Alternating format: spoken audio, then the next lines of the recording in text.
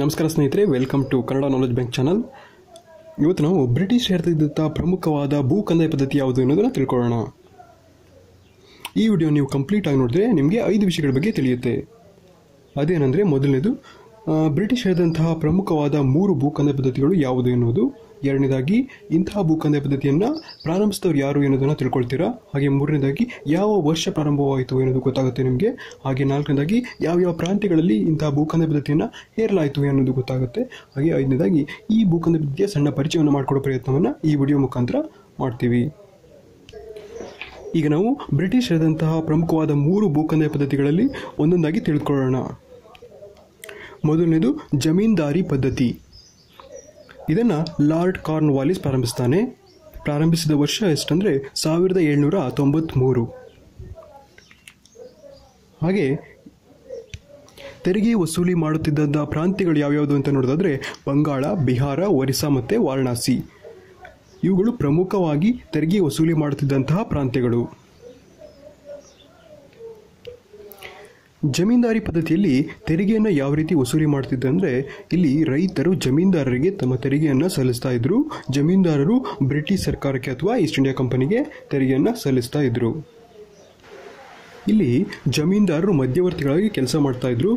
ರೈತರಿಂದ ತೆರಿಗೆಯನ್ನು ವಸೂಲಿ ಮಾಡಿ ಬ್ರಿಟಿಷ್ ಸರ್ಕಾರಕ್ಕೆ ಸಲ್ಲಿಸ್ತಾ ಇದ್ರು. ಇಲ್ಲಿ ತೆರಿಗೆಯಲ್ಲಿ ಒಟ್ಟು ಹನ್ನೊಂದು ಭಾಗ ತೆರಿಗೆಯನ್ನು ಸಂಗ್ರಹವಾದಲ್ಲಿ ಹನ್ನೊಂದನೇ, ಹತ್ತನೇ, ಹನ್ನೊಂದು ಭಾಗವನ್ನು ಬ್ರಿಟಿಷ್ ಸರ್ಕಾರಕ್ಕೆ ಸಲ್ಲಿಸ್ತಾ ಇದ್ರು. ಹನ್ನೊಂದರಲ್ಲಿ ಉಳಿದಂತಹ ಒಂದು ಭಾಗವನ್ನು ಜಮೀನ್ದಾರರು ತಮ್ಮ ಹತ್ರ ಇಟ್ಕೊಳ್ತಾ ಇದ್ದರು ಈ ರೀತಿಯಾದ ಪದ್ಧತಿ, ಜಮೀನ್ದಾರಿ ಪದ್ಧತಿಯನ್ನು ನೀವು ಕಾಣ್ಬೋದು.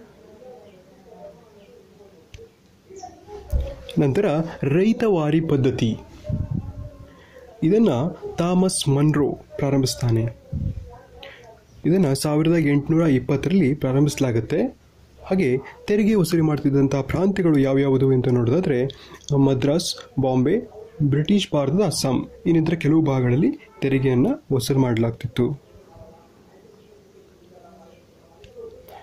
ರೈತವಾರಿ ಪದ್ಧತಿಯಲ್ಲಿ ಬ್ರಿಟಿಷ್ ಸರ್ಕಾರ ನೇರವಾಗಿ ರೈತರಿಂದ ತೆರಿಗೆಯನ್ನು ಸಂಗ್ರಹಿಸ್ತಾ ಇತ್ತು. ಅಂದರೆ ಇಲ್ಲಿ ಮಧ್ಯವರ್ತಿಗಳು ಯಾರು ಇರ್ತಾ ಇರಲಿಲ್ಲ. ಹಾಗೆ ಇಲ್ಲಿ ತೆರಿಗೆ ಎಷ್ಟು ಕಟ್ಟಬೇಕಿತ್ತಂದರೆ ಇಲ್ಲಿ ಶೇಕಡ ಅರುವತ್ತರಷ್ಟು ಫಲವತ್ತಾದ ಭೂಮಿಗೆ ತೆರಿಗೆಯನ್ನು ವಿಧಿಸ್ತಾ ಇದ್ದರು ಹಾಗೆ ಒಣಭೂಮಿಗೆ ಐವತ್ತರಷ್ಟು ತೆರಿಗೆಯನ್ನು ವಿಧಿಸ್ತಾ ಇದ್ದರು ಇದು ರೈತವಾರಿ ಪದ್ಧತಿಯ ಪರಿಚಯ. ಕೊನೆಯದಾಗಿ ಮಹಲ್ದಾರಿ ಪದ್ಧತಿ ಅಥವಾ ಮಹಲ್ವಾರಿ ಪದ್ಧತಿಯ ಬಗ್ಗೆ ತಿಳ್ಕೊಳ್ಳೋಣ. ಮಹಲ್ವಾರಿ ಪದ್ಧತಿ ಇದನ್ನು ವಿಲಿಯಂ ಬೆಂಟಿಕ್ ಅವಧಿಯಲ್ಲಿ ಆರಂಭಿಸಲಾಗುತ್ತೆ. ಇದನ್ನು ಪ್ರಾರಂಭಿಸಿದ ವರ್ಷ ಸಾವಿರದ ಎಂಟುನೂರ ಮೂವತ್ತ ಮೂರು. ಇಲ್ಲಿ ತೆರಿಗೆ ವಸೂಲಿ ಮಾಡ್ತಿದ್ದಂಥ ಪ್ರಾಂತ್ಯಗಳು ಯಾವ್ಯಾವುದು ಎಂದು ನೋಡೋದಾದರೆ ಕೇಂದ್ರ ಪ್ರಾಂತ್ಯ. ಕೇಂದ್ರ ಪ್ರಾಂತ್ಯ ಅಂದರೆ ಆಗಿನ ಬ್ರಿಟಿಷ್ ಭಾರತ, ಮಧ್ಯ ಭಾರತವನ್ನು ಕೇಂದ್ರ ಪ್ರಾಂತ್ಯ ಎಂದು ಕರಿತಾ ಇದ್ದರು ಹಾಗೆ ವಾಯುವ್ಯ ಭಾಗ, ಹಾಗೆ ಆಗ್ರಾ, ಪಂಜಾಬ್, ಗಂಗಾ ನದಿಯ ಕೆಲವು ಭಾಗಗಳು ಇತ್ಯಾದಿ ಕೆಲವು ಭಾಗಗಳಲ್ಲಿ ಮಹಲ್ದಾರಿ ಪದ್ಧತಿಯ ಮುಖಾಂತರ ತೆರಿಗೆಯನ್ನು ವಸೂಲು ಮಾಡಲಾಗ್ತಿತ್ತು. ಮಹಲ್ದಾರಿ ಈ ತೆರಿಗೆ ಪದ್ಧತಿ ಯಾವ ರೀತಿ ಇತ್ತಂದರೆ ಇಲ್ಲಿ ಒಂದು ಭೂಮಿ ಭೂಭಾಗವನ್ನು ಮಹಲ್ಗಳಾಗಿ ಕರಿತಾ ಇದ್ದರು ಅಂದರೆ ಮಹಲ್ಗಳಂದರೆ ತಾಲೂಕುಗಳಾಗಿ ಹೆಸ್- ಹೆಸರಿಸಲಾಗ್ತಿತ್ತು. ಹಾಗೆ ಈ ಮಹಲ್ಗಳಲ್ಲಿ ಒಂದು ಅಥವಾ ಒಂದಕ್ಕಿಂತ ಹೆಚ್ಚು ಹಳ್ಳಿಗಳು ಕೂಡಿರ್ತಾ ಇದ್ದವು ಈ ಇಲ್ಲಿ ಗ್ರಾಮಗಳನ್ನು ಮಾಡಿ ಗ್ರಾಮ ಸಮಿತಿಯಲ್ಲಿ ಒಬ್ಬರು ಮಹಲ್ದಾರನಾಗಿ ಅವ್ರ ಮುಖಾಂತರ ತೆರಿಗೆಯನ್ನು ವಸೂಲಿ ಮಾಡಲಾಗ್ತಿತ್ತು. ಇದು ಮಹಲ್ದಾರಿ ಪದ್ಧತಿಯ ಪರಿಚಯ. ಎಸ್ ಸ್ನೇಹಿತರೆ, ಈ ವಿಡಿಯೋ ಮುಖಾಂತರ ನಿಮಗೆ ಬ್ರಿಟಿಷ್ ಹೇರ್ತಿದ್ದಂತಹ ಮೂರು ತೆರಿಗೆಯ ಭೂ ಭೂ ತೆರಿಗೆಯ ಪರಿಚಯ ಆಯಿತು ಅಂತ ಅಂದ್ಕೊಂಡಿದ್ದೀನಿ ಎಸ್ ಥ್ಯಾಂಕ್ ಯು ಫ್ರೆಂಡ್ಸ್